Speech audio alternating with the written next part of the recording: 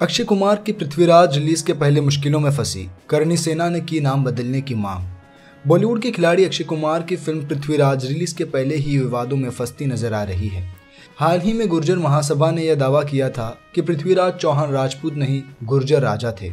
इसके बाद राजपूतों का प्रतिनिधि कहने वाली करणी सेना इस बात से नाराज़ हो गई और फ़िल्म के मेकर से टाइटल बदलने की मांग की है। उनका कहना है कि फ़िल्म के नाम से सम्राट जोड़कर सम्राट पृथ्वीराज चौहान रखा जाए। करनी सेना के प्रवक्ता ने मीडिया से बात करते हुए कहा, हम लोगों ने यशराज फ़िल्म के सीईओ अक्षय विधानी से एक मुलाकात की है।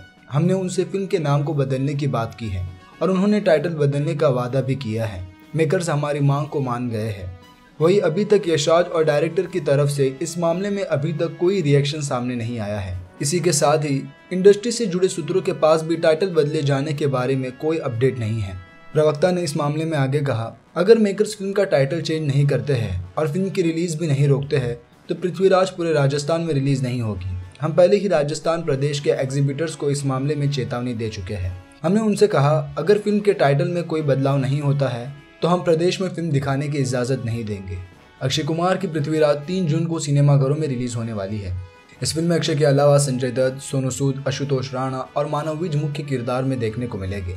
पृथ्वीराज से पूर्व मिस वर्ल्ड मानुषी छिल्लर अपना बॉलीवुड में डेब्यू करने जा रही है। फ़िल्म का डायरेक्शन डॉक्टर चंद्र प्रकाश द्विवेदी ने किया है। तो दोस्तों, आप क्या कहना चाहोगे इस खबर पर अपनी प्रतिक्रिया हमें कमेंट में ज़रूर बताएँ। और अगर वीडियो पसंद आई हो तो वीडियो को लाइक करें और हमारे चैनल फिल्मी नेचर को सब्सक्राइब करें।